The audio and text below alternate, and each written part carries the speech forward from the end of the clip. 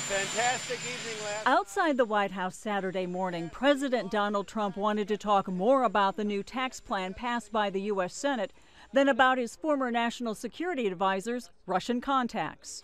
No, I'm not. And what has been shown is no collusion. No collusion. There's been absolutely, there's been absolutely no collusion. So we're very happy.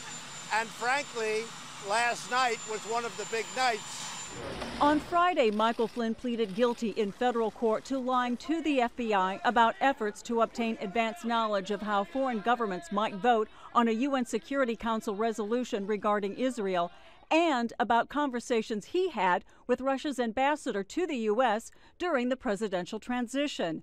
As part of the deal, Flynn agreed to cooperate with Special Prosecutor Robert Mueller's investigation into Russian meddling into last year's presidential election. Mueller is looking into whether the Trump campaign colluded with Russia. He's also looking into the president's business ties there. Flynn is the fourth member of the president's inner circle to be charged in connection with the investigation.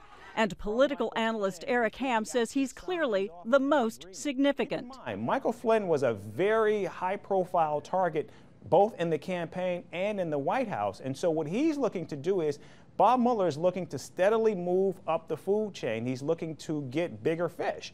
And so I think he's looking at possibly Jared Kushner, Kushner and maybe even the president going forward. Last winter, President Trump said he fired Flynn just one month into his national security advisory post because he had lied to Vice President Mike Pence about his contacts with Russia.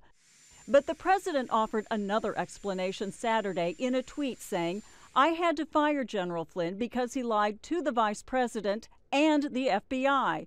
He has pled guilty to those lies. It is a shame because his actions during the transition were lawful. There was nothing to hide. Diane Estabrook, Al Jazeera, Washington.